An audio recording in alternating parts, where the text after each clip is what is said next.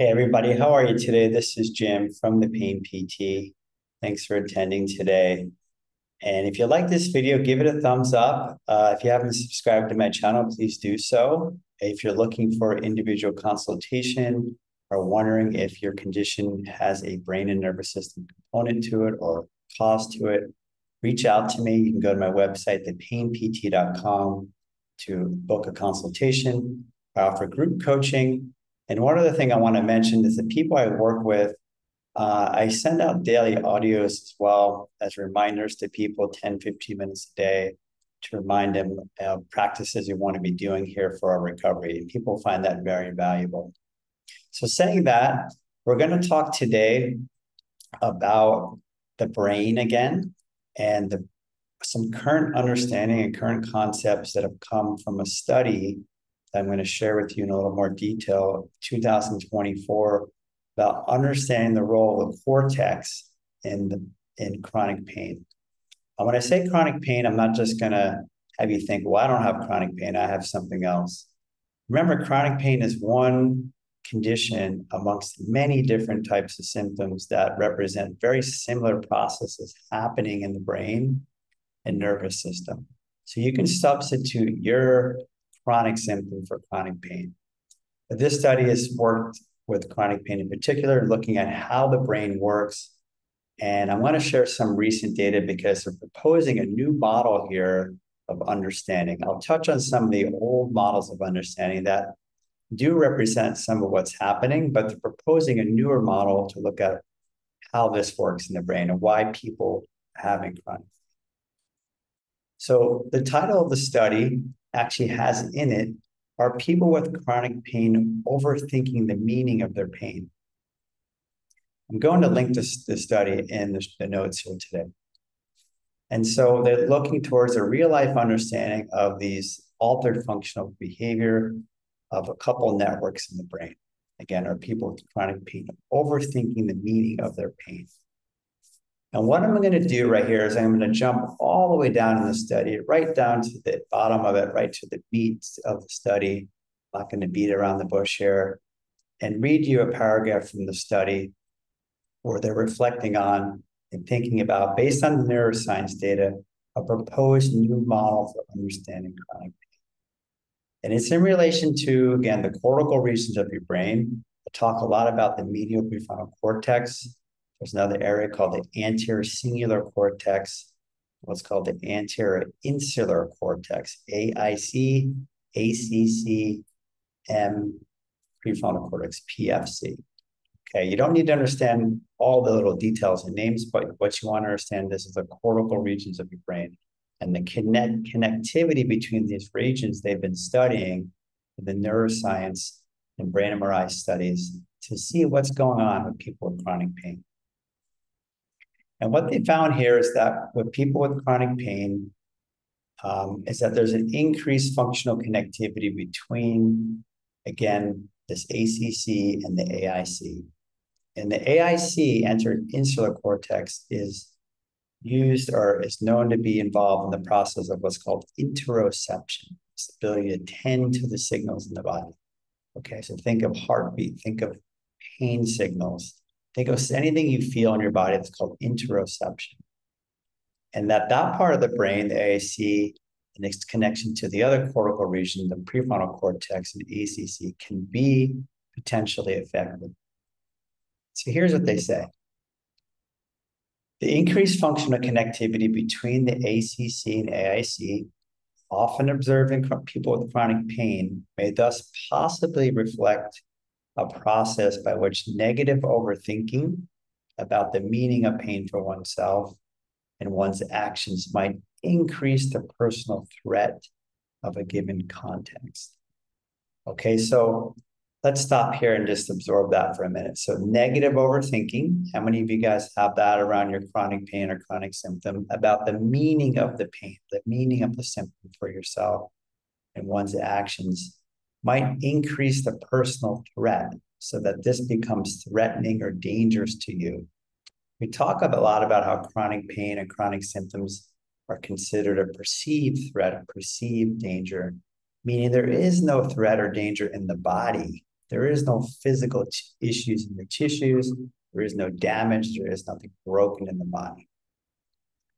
So let me go on further and, and read to you what they say in the next sentence. And I'll read the whole thing to you again so you can absorb it. This may in turn increase the likelihood of harmless afferent signals from the body to be interpreted as potentially harmful, thereby increasing the susceptibility of experiencing pain in the absence of ongoing tissue damage.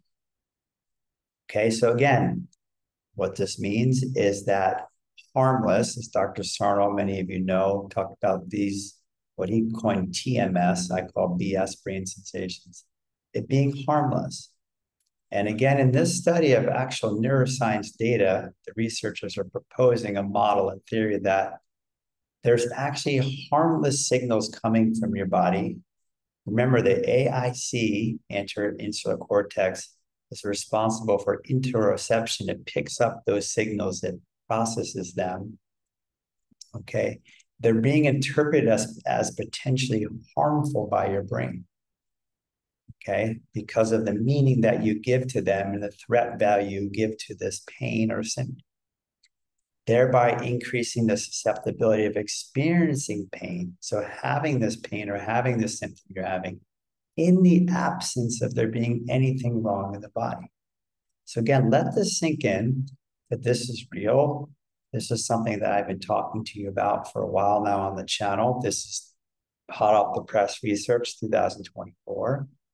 I'm going to read it to you again because I want to get to the meat and potatoes. All the little details of the neuroscience you don't need to understand. You'll get lost in the weeds. You'll get confused. But you wanted to get the take home message here that this new model, again, I'll read it to you one more time and just, just listen to this. Okay, that if our previously suggested role of the anterior cingulate cortex in chronic pain processing holds true increased functional connectivity between these two cortical regions, again, the ACC, which is part of your prefrontal cortex, and the AIC, anterior insular cortex, think interoception, as off, is, is often observed, these two things is often observed in people with chronic pain, and may thus possibly reflect the process by which negative overthinking about the meaning of pain for oneself and one's actions might increase the personal threat of a given context.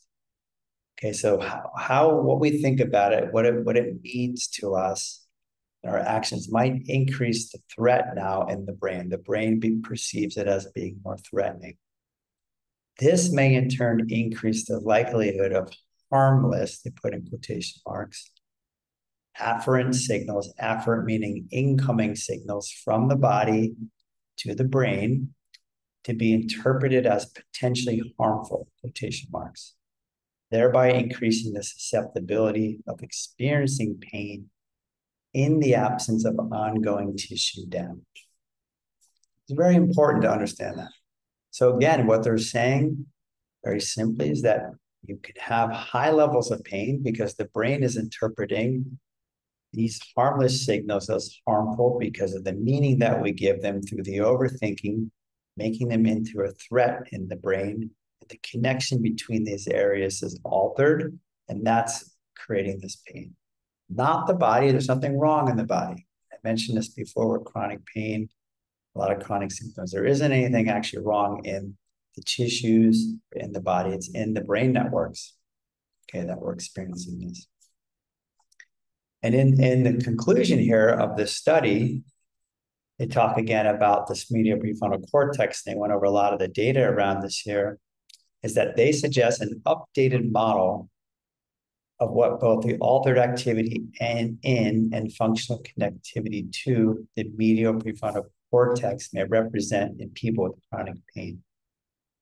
We suggest, again, these are the neuroscience authors, we suggest that increased medial prefrontal cortex activity may reflect a tendency to overthink the meaning of pain for oneself and one's actions. This may in turn increase the personal threat of a given context, and thereby increase the susceptibility to experience pain or other symptoms, which we suggest might be reflected by an increased functional connectivity between the prefrontal cortex and the AIC, anterior insular cortex. And again, the anterior cingulate cortex is part of the prefrontal cortex. So I hope this makes sense, guys. I don't want to get too much into the weeds here on the details of it. I will just touch upon some of the other models that have been put forth, put forward previously because of this neuroscience data. And some of these other models that we understand here are related to the emotional processing of pain.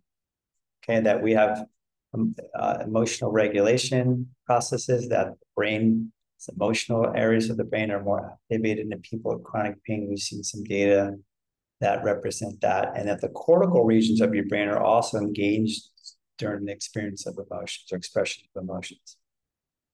Okay, so they say here in the study that increased emotional processing of pain may serve to, as a partial explanation for the altered behavior of the prefrontal cortex, but does it provide a complete explanation?